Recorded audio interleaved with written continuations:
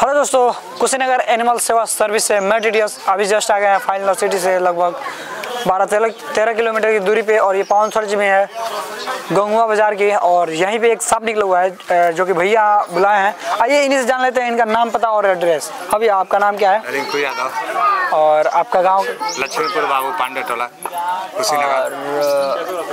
दोस्तों यहाँ पे हम इन्हीं के बुलाने से आ गए हैं।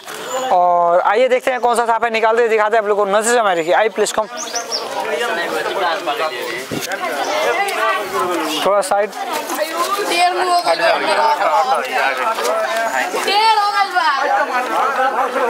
दोस्तों, सांप जो है इसी कुएँ में गिर गिर गया है और दो तीन दिन हो गया इसको गिरे हुए।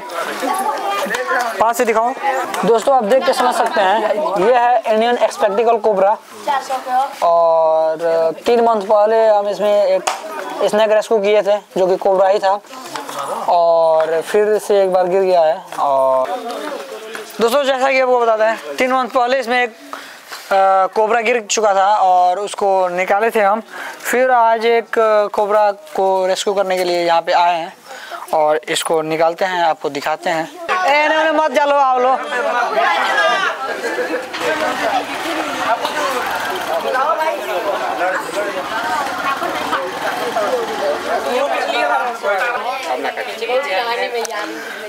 दोस्तों इसको निकालने का पूरा प्रयास करते हैं और आपको दिखाते हैं। आ जाओ पास में आ जाओ। अरे वो दिखाओ ना उधर वहाँ पे। तो दोस्तों इसको अब देखिए इसमें फंसाते हैं कैसे फंसता है।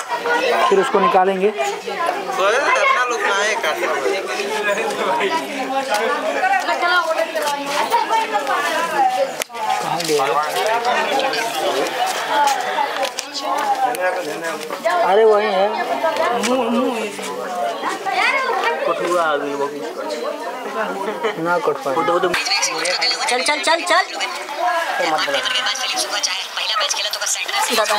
रुक जा रुक जा सबर करो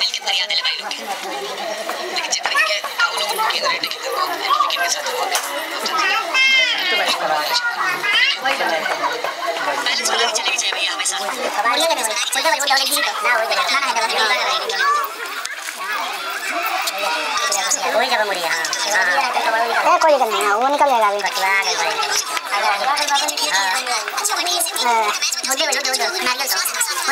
जरा जरा जरा ना वो ना पैसा देंगे उतना उतना ना पैसा ना बस बस आ जाओ आ जाओ आ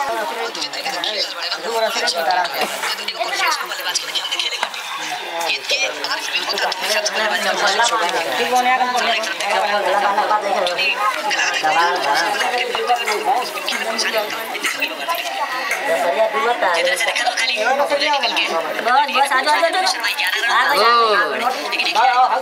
जा हट जा हट जा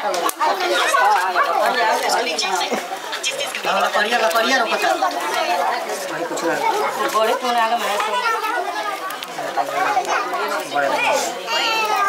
ले बुढ़ी हटाओ एक वहाँ पे इटली मारोगे उधर पीछे।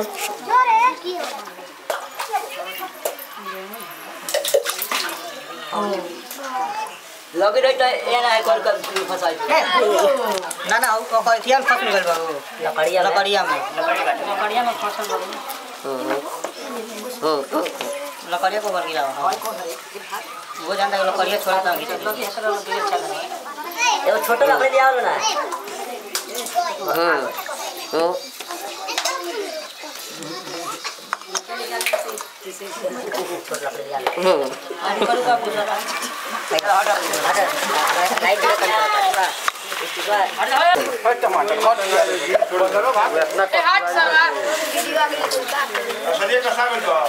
कसाई में में टंगाई रे कसाई थोड़ा होइंगा लटकल बखुद दे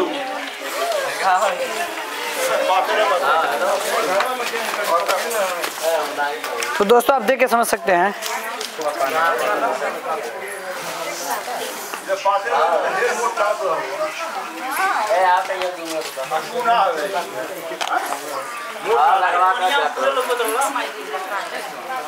और दोस्तों, आप देख के समझ सकते हैं।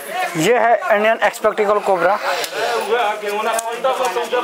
और ये जब पानी में रहता है तो अपना शरीर फुलाए रहता है ताकि ये ऊपर रहे, पानी के ऊपर।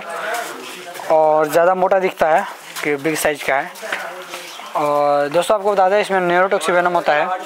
अगर ये बाइट कर ले तो नस में जो खून दौड़ती है, उसको रोक देता है और धब्बा धब्बा बना देता है। ऐसा सांप आपको बाइट करे तो आप सीधा जिला अस्पताल जाएँ, किसी झाड़ फूक के चक्कर में ना पड़े।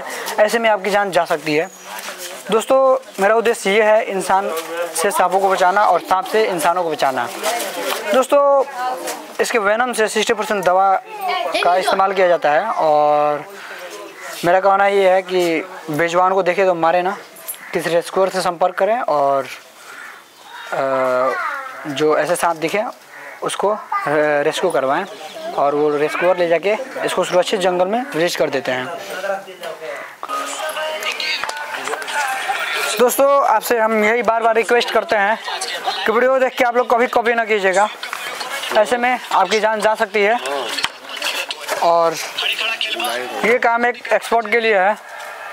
और जितनी आसानी दोस्तों, जितने जितनी आसानी से हम सांप को पकड़ते हैं, उतनी आसानी से आप कोशिश ना कीजिएगा। नहीं तो खतरा हो सकता है। और ये काम हम लोग के लिए बना हुआ है।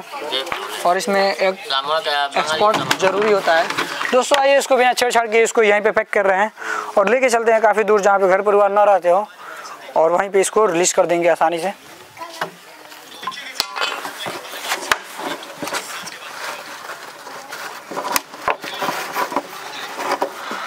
और दोस्तों ये पानी में रहता है तो अपना शरीर फुलाए रहता है क्योंकि पानी के ऊपर ही रहता है ये।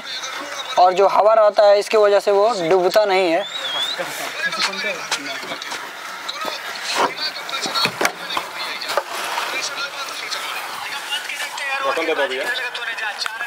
दोस्तों इसको आसानी से इसमें पैक कर रही है।